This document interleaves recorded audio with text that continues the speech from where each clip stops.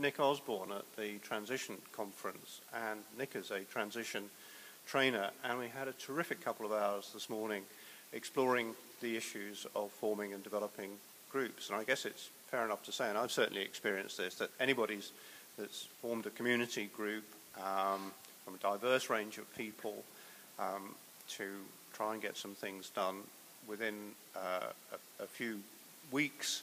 You're struggling potentially with all sorts of personality conflicts and where are we going? Should we think about it or should we just get out there and do things? Um, is this any different in transition or is it the similar sort of issues that crop up for anyone?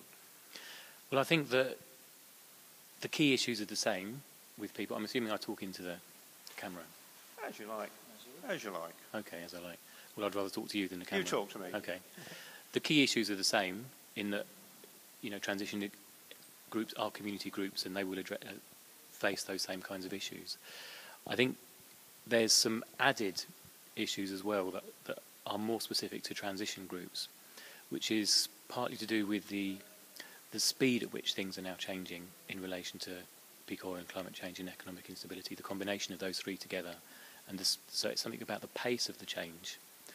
And it's also about the breadth of issues that the transition movement is addressing, whereas a lot of other community groups tend to be more single issue, uh, focused on you know the environment or one particular issue, um, or just one particular small part of their community, whereas transition initiatives are looking at the whole of their community and how to tran- transform not only the community some structures and systems in the community to do with energy and water and transport and health and all those things, but also um, individual behaviour change, also culture, shared beliefs and understandings, and also our shared um, kind of individual beliefs and feelings and assumptions about what's happening in, in the world. And it's so there's that, and in addition to that, there's also what transition is talking about is about a whole systems change. Mm-hmm. You know, in in all areas of our life. It's talking about, you know, a potential end of the industrial growth system, a transition period while that's ending, and building an alternative to that with what's going to replace that for human beings to have a sustainable presence on the planet. So, from that comes there aren't any quick fixes on the systemic problems that we're facing, no. and there aren't in the same way quick fixes on the group challenges that we face, because as no. you say, you're emphasising the importance of a shared set of values, development of the culture, and the, the, personal change and personal transition, inner transition, as we were hearing about mm-hmm. um, earlier. Is is that approach unusual to transition, or are you? What other? Uh, where else are you drawing that inspiration from? What other trainers and facilitators are taking that approach? What, of, of, addressing all those different parts yes, of yes. Um, well that's that tends to be an approach that I found myself talking about um, more so, more so well there's two things to say about that one is transition is seen as being somewhat unique in that it does address inner transition as well as outer transition and that's seen as being distinctive from more conventional environmental mm. and social change movements which just focus on the external and transition is bringing in the internal and then I've, I've sort of added a bit more, which is about saying, well, within the internal, there are two parts. There's the individual and the collective. So there's our own individual subjective beliefs, and then there's the shared culture. And then in the external, there's the individual behaviour change, and then there's the collective systems and structures. And I'm drawing that from a, a model called the integral model, which is from an American philosopher called Ken Wilber. And it's a it's like it's a philosophical model that, that can be applied to any anything in the world. And I've been studying that, and then I'm applying that to, to my work in transition. So that's why I'm talking about those those kind of added dimensions. Whereas conventional movements just tend to focus on one of those. You know, it's either people either say, well, we need to change everybody's behaviour, or they say, well, we need to change all the community structures, or we need to change the culture, or we need to change the hearts mm. and minds. But very rarely do they take an approach that includes changing all four of those at the same time. And that's what I'm quite strongly advocating as part of this. I mean, I certainly found it gave us a, a really good basis on which to tackle the next workshop, which you gave, uh, uh, challenge which you gave us, which was uh, to develop uh, a story over the next 10 years. How did you remind me how you kicked that off? Well, we started off by asking people to reflect on their current experiences in groups. So thinking about um, what what's really working in their transition groups at the moment. What are things that are really making the groups work successfully and be really effective? And what's the collective wisdom that we have about what helps groups work effectively and well together? Um, people talked about that and explored that. And then we asked about the challenges. What are some of the um, difficult things we're facing, some of the challenges, some of the frustrations, some of the obstacles? Uh, so people shared experience about that. And then we moved from thinking about what we're currently doing and how it's currently working into the future and ask people to imagine 10 years in the future and imagine what kind of culture, because out of those four dimensions I was talking about earlier, this morning's session was focusing on the cultural dimension. What kind of culture would we like to create? Would we like to love to be working in and love to be living in in our transition groups, but also more widely in our communities? Um, so we got people to go on a, a little journey into the future, to do some guided visualization about what that culture might be like and feel like, and what people might be doing in there. And then we got people to share those visions of that future in 10 years. And then, as a small groups of four or five, make some kind of way of representing that.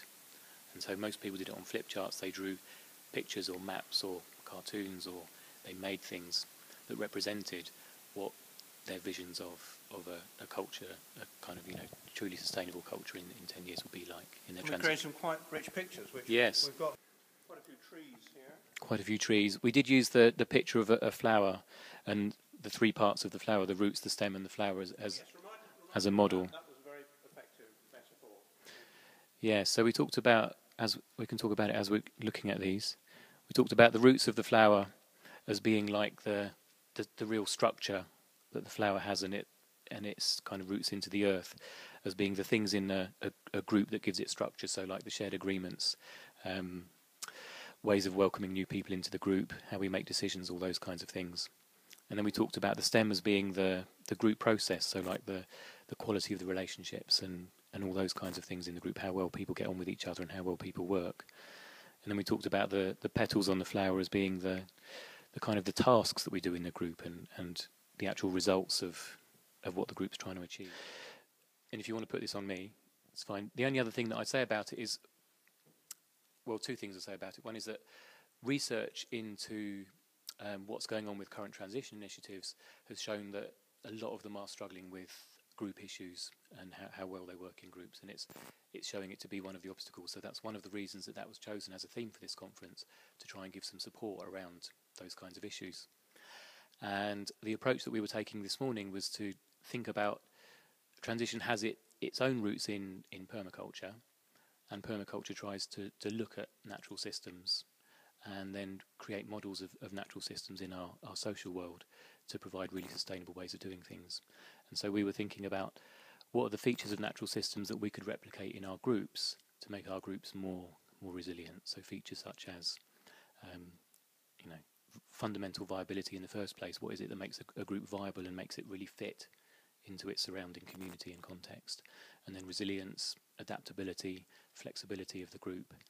Um, interconnectedness of the group and what's what's around the group and feedback loops that happen in natural systems thinking about how we give and receive feedback to each other and we can we can be a, a kind of learning system and we thought about how could we replicate some of those features of, of natural systems in our groups and um, really make the groups kind of more highly highly resilient and adaptable to a, a rapidly changing and complex world so that was the thinking behind um, this process that we took people through to to support them with with their process in transition groups, kind of all over the country.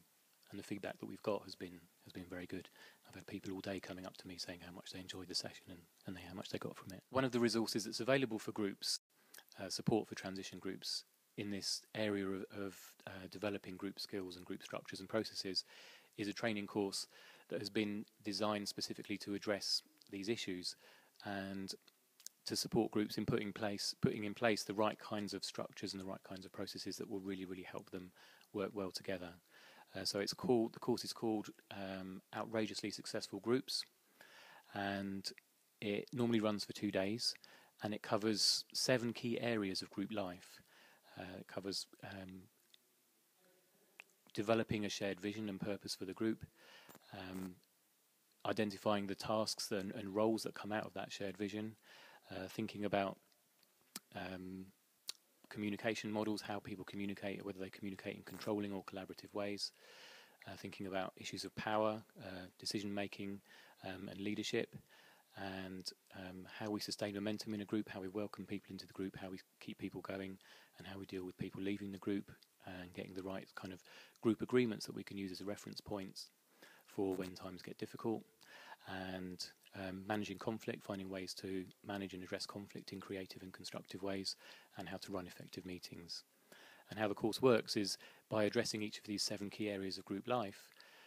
Um, it works a little bit like a jigsaw puzzle where you can't only focus on one of those areas, you need to be working on attending to all seven of those areas, and then um, those are the things that contribute to making a, a, the group work as a healthy and functioning system. And it's it's an approach where there isn't any kind of quick fixes, but by doing these things and putting the jigsaw puzzle together, it can be a really effective and, and satisfying experience. So that course is available. Uh, outrageously successful groups. Uh, you can find out about it through the Transition Network. It's on the Transition Network website under the, the training page.